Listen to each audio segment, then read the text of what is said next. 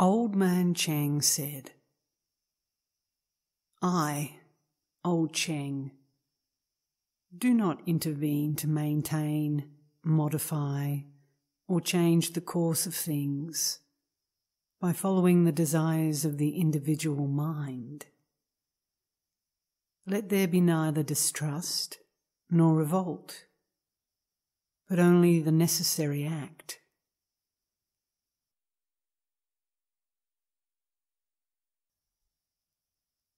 If I behave in a different way with you, it is so that you might, at last, by yourselves, directly see original spirit, instead of always seeking it through the mediation of dead fellows, or by running after scatterbrains like me.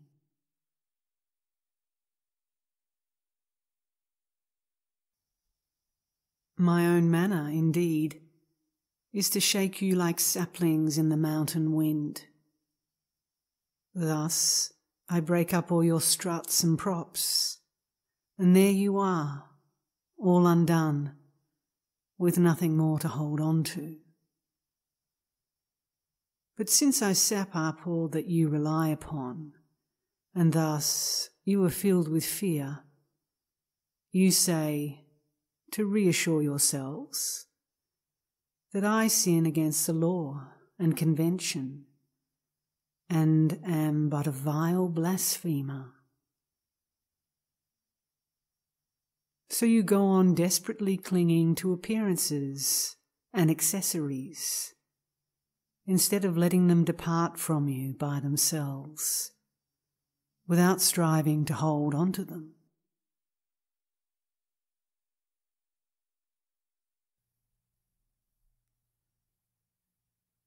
My words find no echo in you. So I play a trick on you and tell you that they come from a great and famous fellow who has been dead for centuries. But you still do not understand that they are your direct and immediate concern. On the contrary, you seize on them as something precious good for keeping and to cultivate. Bald heads, by holding on to futilities, you simply waste your life away, and the evidence of original spirit slips through your fingers. What a shipwreck for you!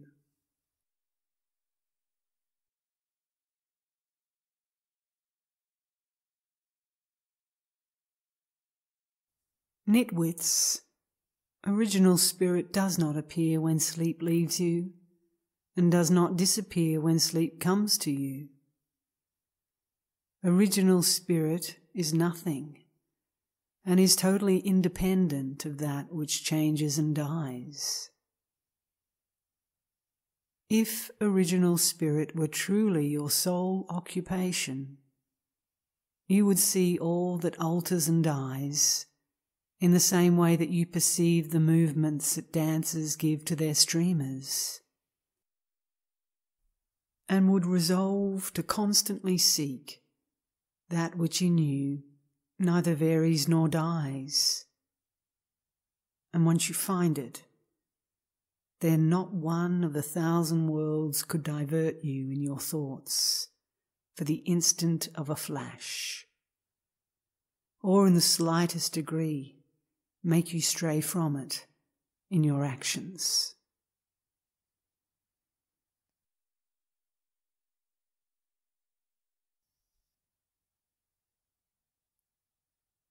You believe you aspire to original spirit, but you only actually seek the satisfaction of a condition or learning and of merit.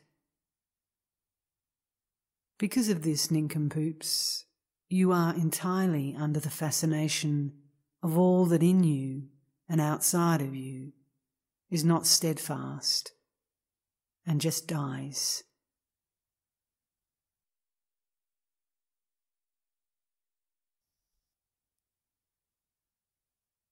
That is why the sayings of old Tcheng simply go through you without making an impression, like the birds which leave no trace in the sky. Bald pates, all that you think and say concerning original spirit is but the erring and wandering of your own puny little minds. To that which nature spontaneously brings you, you respond only after interpreting it through all that you have placed on a pedestal above your heads.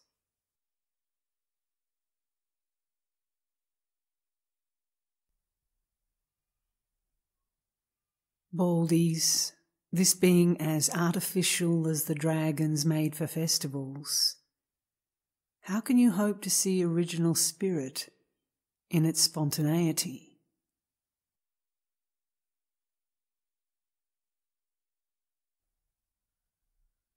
In my youth, I went around the land, giving myself up to study and practices. I associated with those who had strayed, and imagining they had found the light, did nothing but cause others to stray. Then I met him who enabled me to see all the useless mud I bore with me. The way of truth appeared to me, and original spirit became my sole occupation. And one day, everything suddenly collapsed into awareness.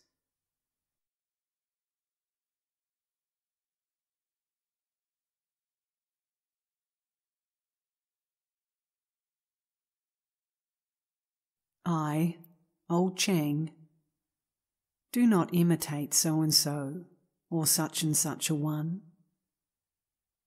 I hold to no belief no school of thought do I follow. No one's disciple am I. In my true nature, I know nothing. I own nothing.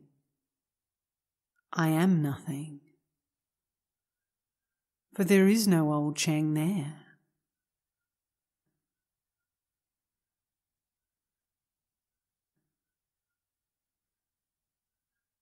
In the ordinary way, the things in which I take part, of themselves, just flow by, pass away on their own. Even original spirit is no longer my concern. The words I speak to you come not from that which is learnt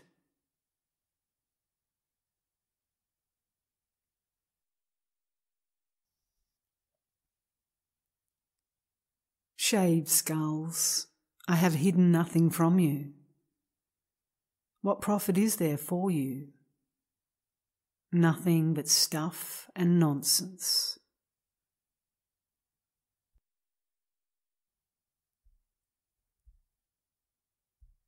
Original Spirit has ever been present under your very eyes.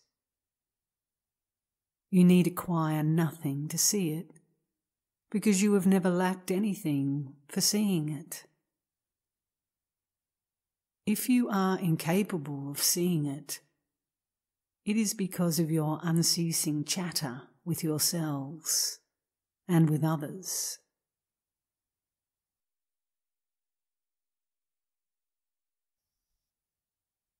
You spend your time supposing, comparing, computing, developing, explaining, justifying, and quoting what your puny minds have retained and thought they understood of the scriptures, and of the words of old jackasses like me, giving preference to saying from those to whom, after their death, were given such authority as to put them beyond all doubts. In these circumstances, how can you hope to see original spirit in its instantaneousness? Dumbbells.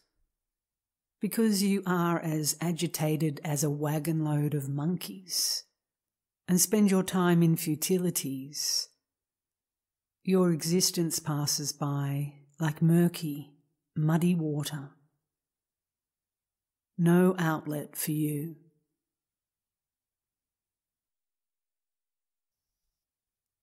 To say that original spirit is not sheer void without factual existence, that is just words. In thinking about original spirit lies your poison. Giving up this thought and thinking of the absence of this thought, there again lies your poison.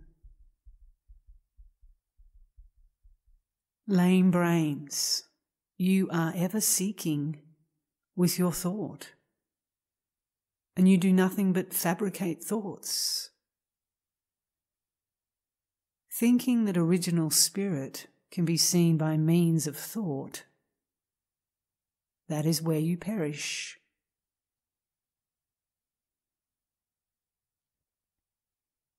Burning incense, reciting sutras, spending time bowing to the ground, or concentrating on staying perfectly still, fixing or eliminating thought this is where you stray. Numbskulls, you are always intervening, and you do nothing but keep acting thus and so. Hoping to see original spirit by means of actions. That is your illusion. Venerating the Buddha that is the evil of attachment. Rejecting the Buddha. That is the evil of impiety. Dolts, you are ever bent on expressing emotions, and you do nothing but produce sentiment. Believing one can see original spirit by means of sentiment there is your mistake. Dimwits, you are convinced you will come to see original spirit in this manner. But it is you and you alone that you will catch. Never, do you hear? Never can original spirit be found that way.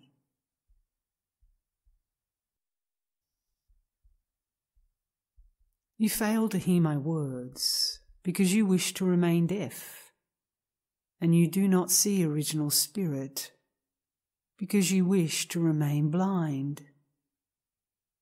There is no hope for you.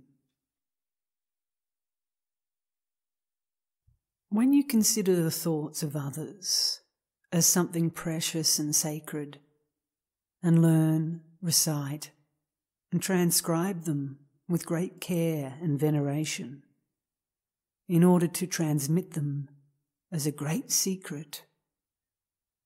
That is what I call being chained up under the thoughts.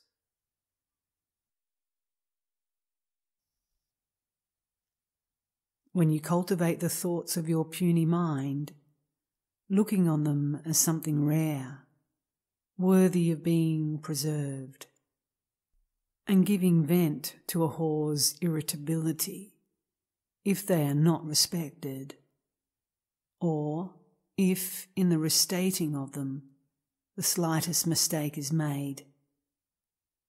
That is what I call being chained up by thoughts.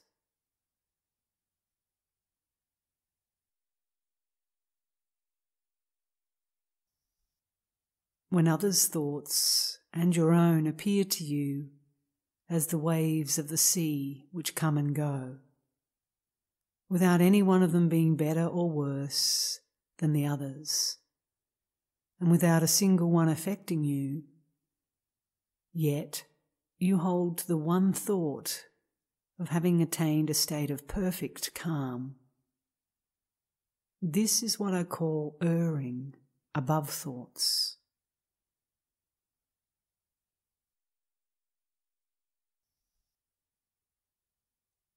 When no thought any longer holds your attention, because evidence is born that, in regard to original spirit, there is nothing to keep and nothing to be obtained by thought. This is what I call being on the threshold of original spirit.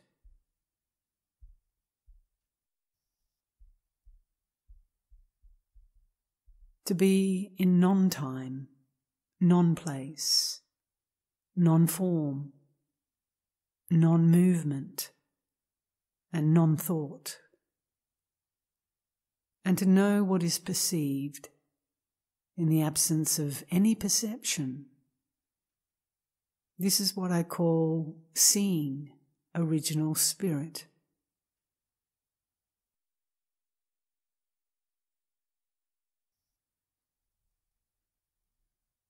When you have studied all the scriptures and every treatise and every patriarch, when you have met all the awakened ones and mastered all the practices and mysterious forces, if you do not see original spirit, even if you have become summits of spirituality, of holiness, and of science, your life, nincompoops, will never be other than a futile amusement.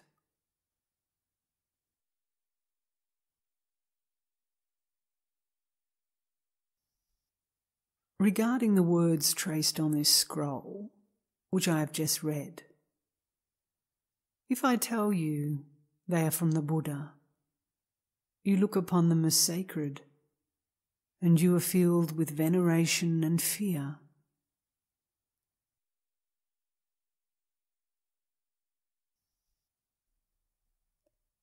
If I tell you they are from Bodhidharma, or from a great patriarch, you are filled with admiration and respect. If I tell you they are by an unknown monk, you no longer know what to think, and you are filled with doubt. If I tell you that they come from the monk in the kitchen, you burst out laughing, thinking I have just played a trick on you. Thus, what counts for you is not the truth that these words bear, but only the importance to be granted them, according to the fame of the one from whom they are said to have come. You are incapable of seeing for yourselves, but only feel what you think should be felt and think according to the opinions of those you have placed on a pedestal. You are forever adding to things, tainting them, falsifying them. That is why you are powerless to see original spirit without reference to who or whatever it might be. Nincompoops you are nothing but fakes and tricksters. Your case is hopeless.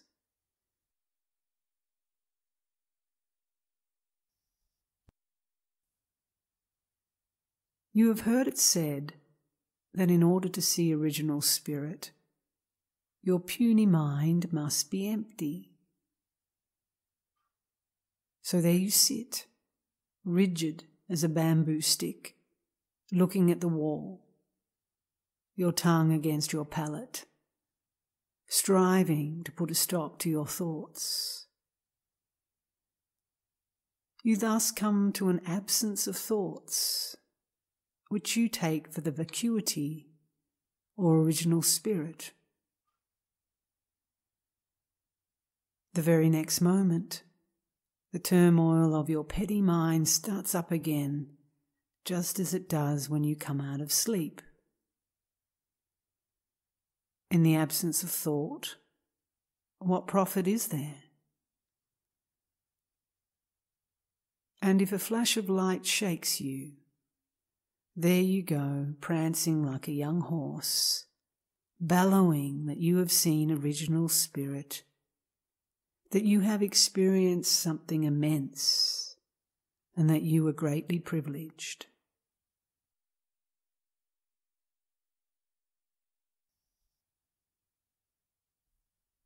What advantage is there in being struck as by thunder? All of that is a nice performance, just good enough for a circus. Baldies, if you persist in your mania and your pretense at wanting to attain and possess whatever it might be, Yours is a lost cause.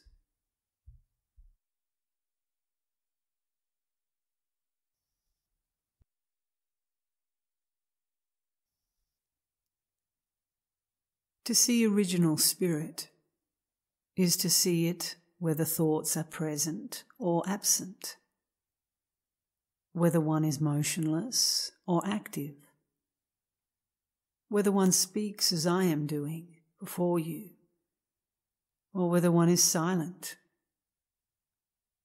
whether one is an emperor, a monk, or a vagrant. What importance is there in that?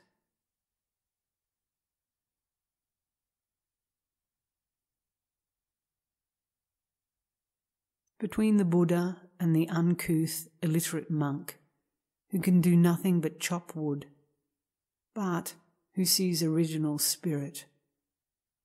What difference is there? There is no original spirit special to Bodhidharma and another special to Old Tcheng or to each one of you. Original spirit is original spirit. Nothing else can be said about it. And even that is saying too much.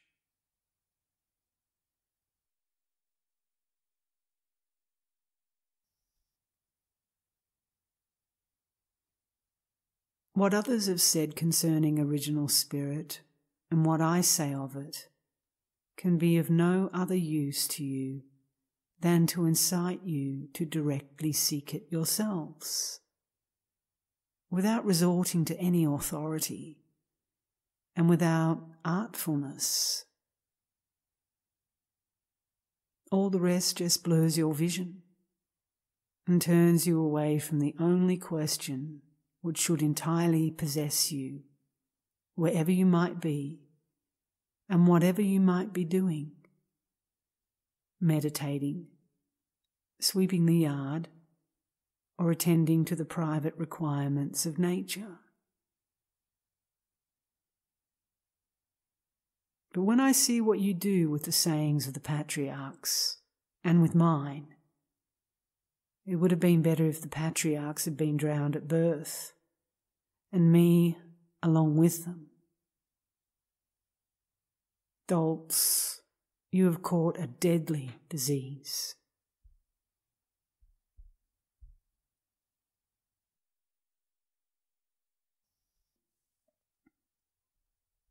shaved heads. The world and you are nothing other than thoughts of the individual mind, since both disappear when sleep overtakes you. This is equally true of all the old tatty notions of your puny mind regarding the Buddha, the Way, and original spirit. once and for always. Understand the uselessness of all your efforts to penetrate the impenetrable by thought and action. you might as well try to capture the wind. But if you are unencumbered, entirely available to original spirit, then you will be directly seized by it. Having heard speak of the void as being the supreme accomplishment, you seek to attain it. Thus you fall into the torpor and insensitivity which you take for the vacuity of original spirit.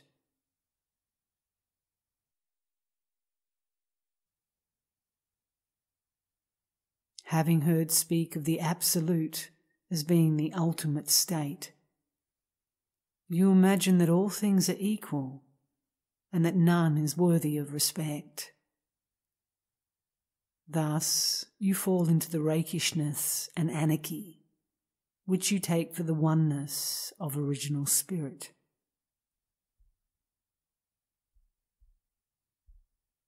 Having heard speak of purity as being complete happiness, you strive to attain it.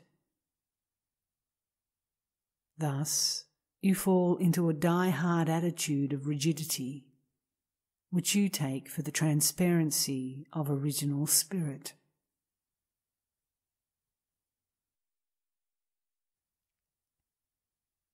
Having heard of detachment as being the only freedom, you try to become separate from the world and from yourselves.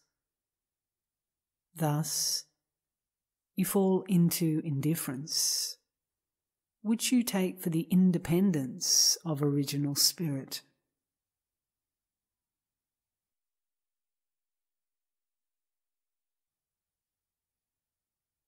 For all these, it is original spirit which is said to be vacuity, oneness, transparency, and independence. And the element of the wheel of existence that you are will never be able to possess any of these faculties. But if you saw original spirit, then you would know that it is your true nature without any possible qualification, and that, in reality, no name can be given it. You would then also know that what we call void, absolute, purity, detachment, and even original spirit are nothing but words which exist from your point of view alone, only because of your blindness and your ignorance. Simpletons, you're wanting to simulate original spirit. Spells the end of you.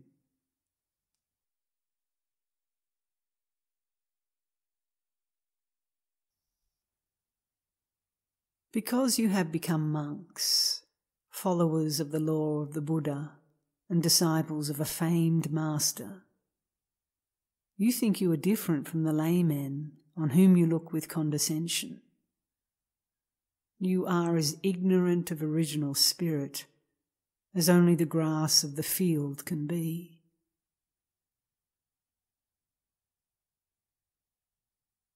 You are much engrossed in getting to know who I am, from what parental stock I am issued.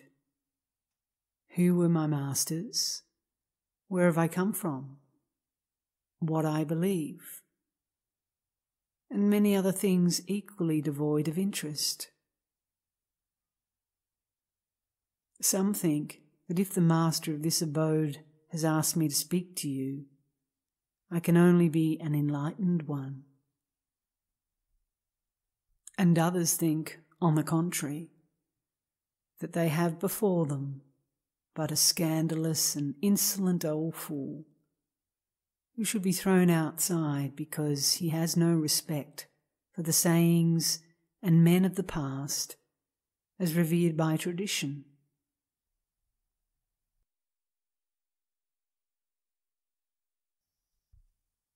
Neither has he any respect for the sayings and men of the present, exalted by their fame and renown.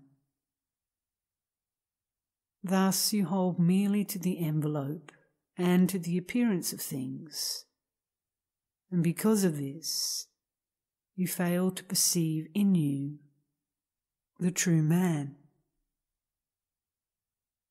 Fools, you put mud in your eyes and then complain of being blind.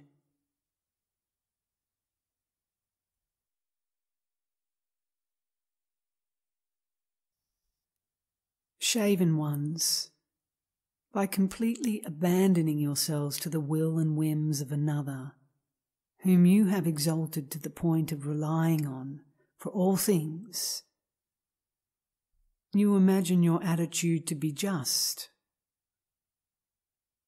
and thus yourselves to be without concern and without desires.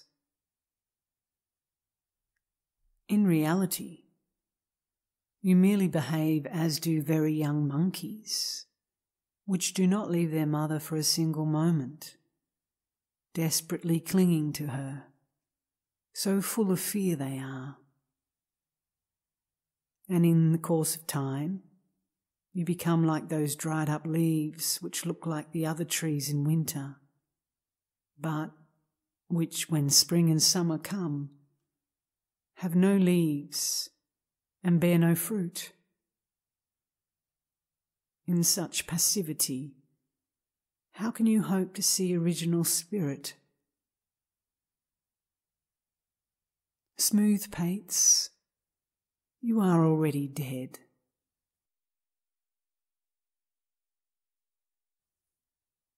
Everyone is enlightened by original spirit. Some see it, others ignore it. That is the only difference between them.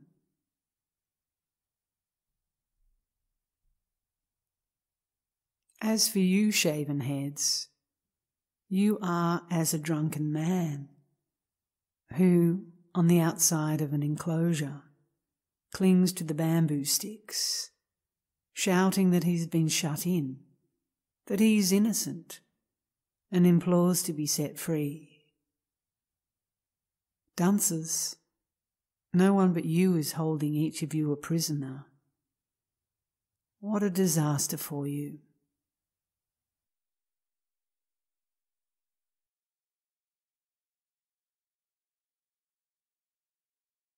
powerless to see original spirit and thereby to live of yourselves. You conceal your insignificance by wearing the clothing others have cast off, be they dead or alive. You accumulate viewpoints and cultivate shades of meaning, differences, and convergences. Thus, you strut about because you dazzle fools with your tricks, you take yourselves to be enlightened men.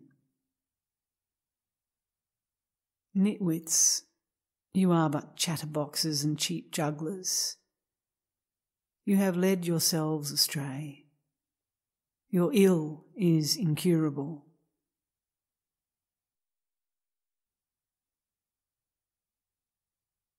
You need no one to see the light of the sun. All that others can say on this subject is useless to you. You are in the light. It warms your body, and yet you cannot seize it and put it into a box. All attempts to possess it are doomed beforehand to failure. You can neither catch it nor get rid of it. That has already been said by this old chatterbox and by others before him.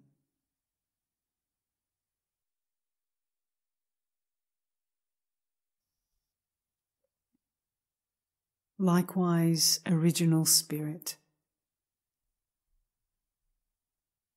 it is ever present, as bright as the light of the sun. You cannot increase it nor diminish it. Dolts, if you cannot see it, this is due to the rubbish you have cluttered up in your heads. You cannot see it because you were taken over by your efforts to trap it in your thoughts, your adorations, and your practices. You imagine it to be afar, and it is here. You want to grab it, and it escapes from you.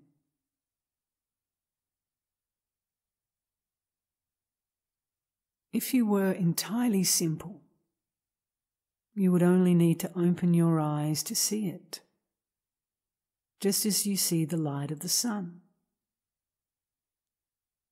No need to intervene for that.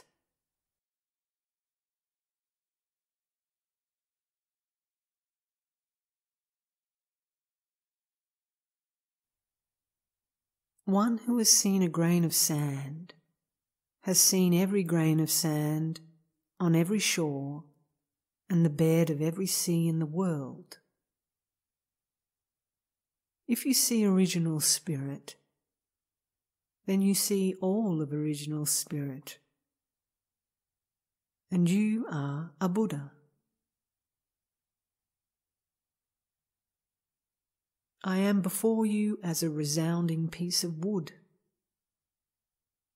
There is nothing deserving or important in this, for there has never been a lack of, nor to the end of men, will there ever be a lack of beings like old Tcheng to resound in the same way.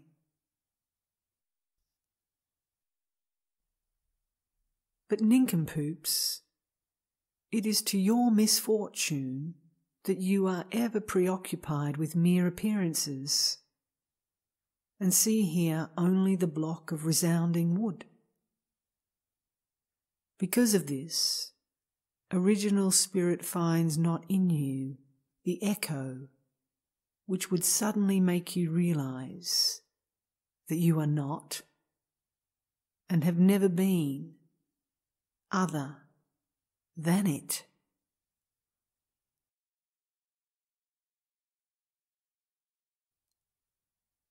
Shorn skulls. Look upon all the patriarchs and all the chatterboxes like me as impostors, since they speak to you of what they can neither show you nor give you.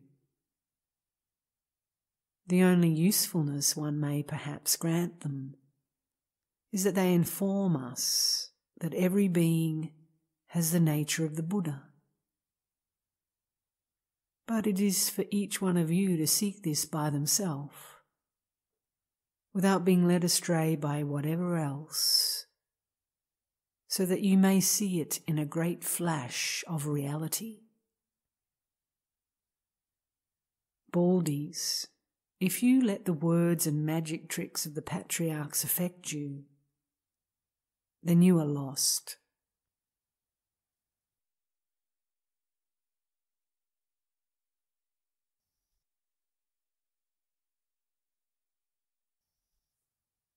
Nitwits, in the hope of seeing original spirit, you have accumulated much knowledge inside your little minds just as rice is heaped up and stored.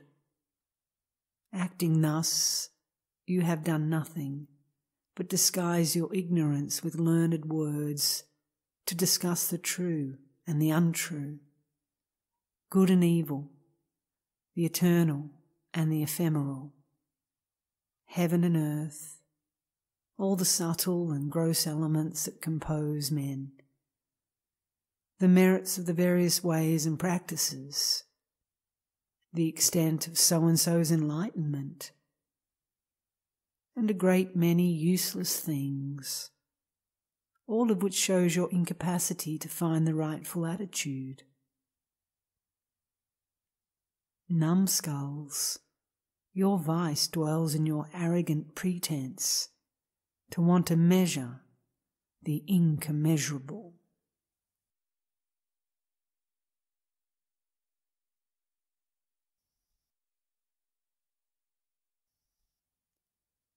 If there be any among you who, while listening to me, are struck by something greater and deeper than my words, and which is not the sort of sanctimonious torpor in which so many take delight, thus imagining that they are at one with original spirit. But see it as a simple, clear, and active light then to these I can but indicate the true direction and show them the way. Their own muddy contour will one day break up, all at once drop off, and they will see the radiant beauty of the jewel of original spirit.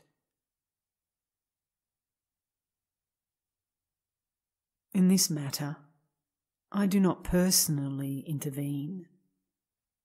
I am but a mode of transit for original spirit, whose presence some may feel through me, old Tcheng, who am also for others as caked mud round a precious stone.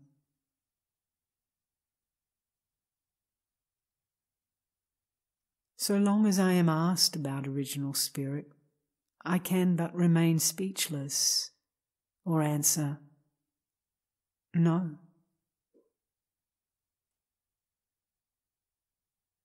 As for one who sees original spirit, they have no need of old Tcheng.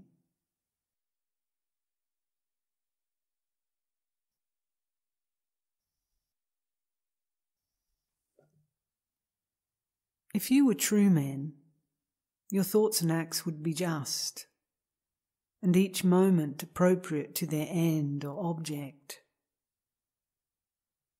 But as you are incapable of seeing your Buddha nature, you fill up your ignorance by copying thoughts, behavior, and acts of those you have put on a pedestal. Your preoccupation in mimicking like monkeys what others think and do.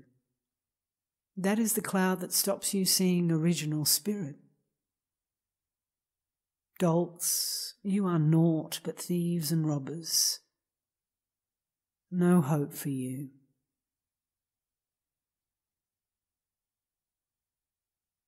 Baldies, your fundamental nature in no way differs from that of the Buddha. You only lack the unambiguous knowing of it, and that alone. That is what you lack. And that is what impels you to seek to become what you have never stopped being. To be clearly in original spirit is the sole meaning of your existence.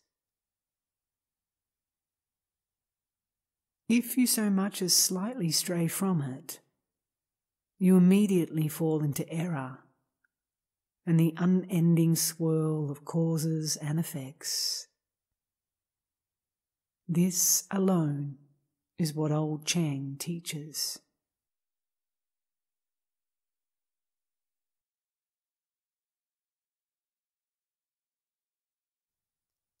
Bare skulls. The thought of original spirit is but the reflection of that spirit in a particular mind as the image of the moon seen in the water of a pond is but a reflection of the moon.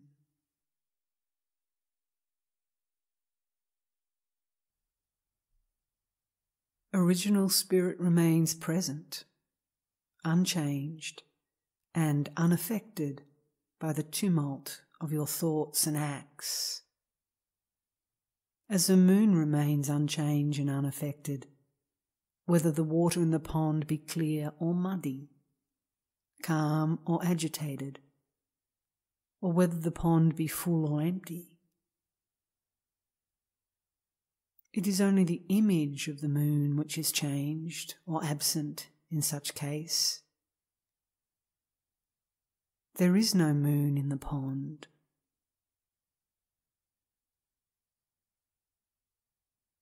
Bald heads, you should understand that with all your inventions of purity to be attained, of detachment and freedom to be obtained, of stopping your thoughts every three hours, and all the other practices you perform with a view to seizing upon original spirit. You are scooped up by your own mind, like a fish in a net. You act as stupidly as if, in order to directly see the moon, you cleaned the water in the pond, took away the plants that cover it, built a bamboo fence so that the wind would not disturb the surface of the water, or as if you emptied the pond. Dumbos, just see that you merely allow yourselves to be fettered by your own thoughts and by your pitiable actions.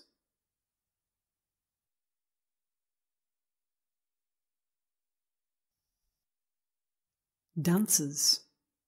It is because of your blindness that old Tcheng speaks to you of original spirit and of the individual mind, as if he were referring to different things.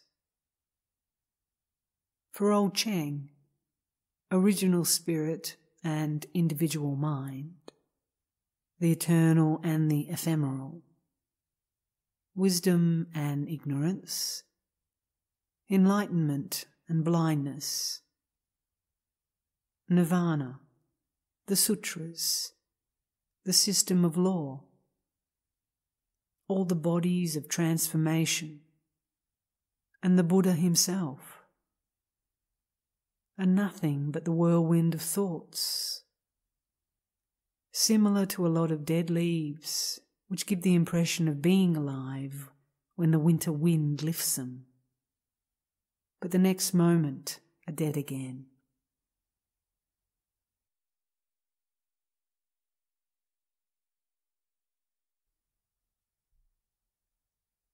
Dolts, the true nature of beings and of things, is not great for one who sees it. Neither is it small for one who ignores it. It remains unaffected by being known or being unknown, and by all that you thrust upon it.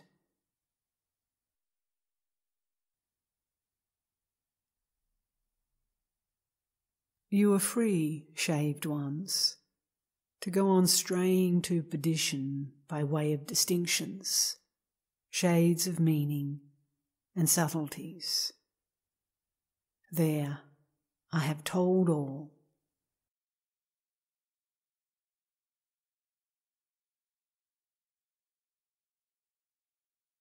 Bald heads. The Buddha first sought original spirit through the individual mind. He found this to be vanity. The Buddha then sought original spirit through disciplines and practices. There again, he saw this to be vanity. Under the Bodhi tree, he still had not found original spirit. But he knew that the individual mind and action were incapable of giving him the vision of his true nature. Then did the Buddha give up using the individual mind and action? He accepted his ignorance and recognized his powerlessness to put a stop to it.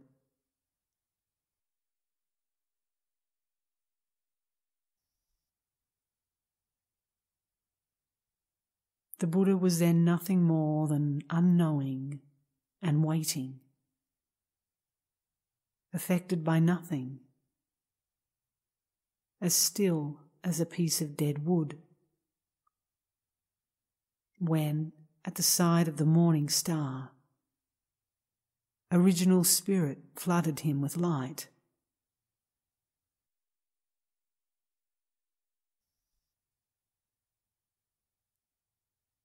Such is the experience of the Buddha. Such is the example, and such is the primal teaching that he has left.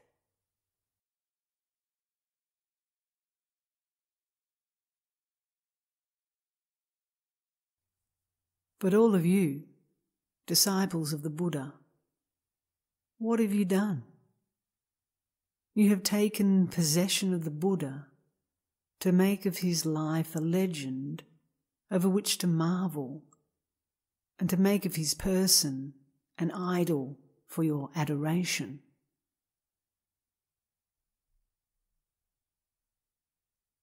You have seized upon the sayings of the Buddha to make of them a sacred thing worthy of being unendingly learnt, recited, and transcribed.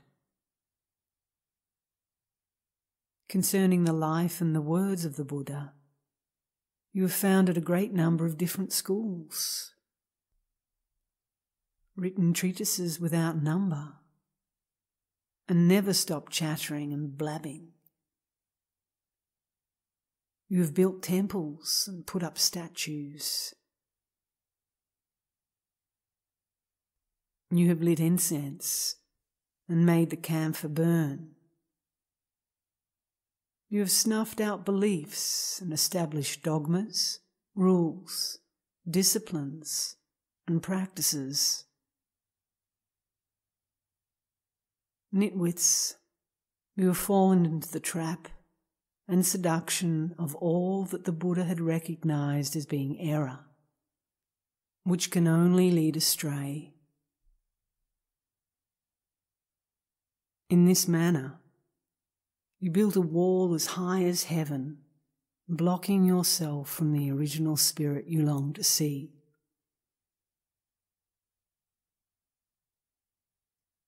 Shave skulls if you persist in the error of your ways, what a total failure your life will be.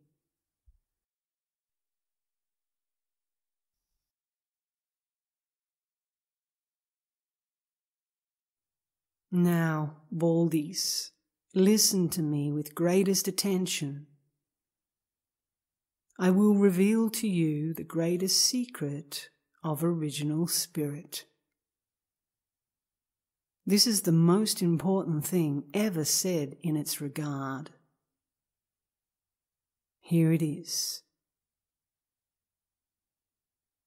There is no secret about original spirit.